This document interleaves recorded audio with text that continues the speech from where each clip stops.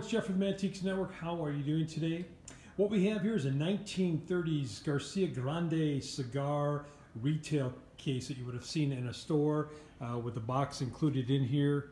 Uh, what the patron would do would come in here, put the cigar in here, push down here, and it would actually light his cigar. So it was all set up for retail.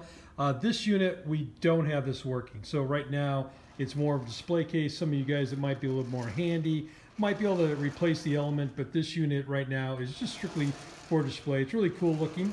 If you're in tobacco, cigars, or just cool retail display, this might be for you.